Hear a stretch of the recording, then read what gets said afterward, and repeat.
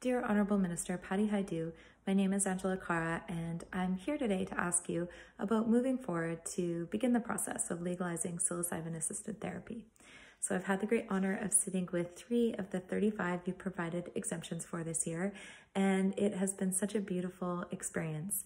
Each one was so courageous in facing the roots of their depression, PTSD symptoms, anxiety, and end of life distress and they all reported new levels of acceptance and peace.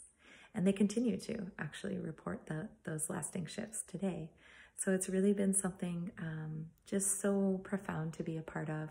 And I want to thank you for allowing people their, their own dignity to do this. And I also want to ask while we're in the movement forward toward legalizing, if you could also please continue to grant exemptions.